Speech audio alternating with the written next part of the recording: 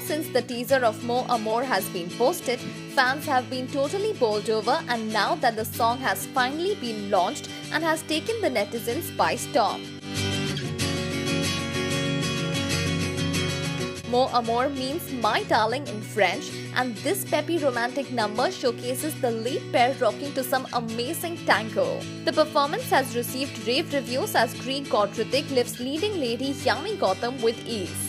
Quite a tough step to pull off, isn't it? All dance lovers will surely drool over the superb chemistry and the foot-tapping beats of Mon Amour. The song has gone viral and is sure an addition to the playlist at all party circuits. So what do you think of these kick-ass steps?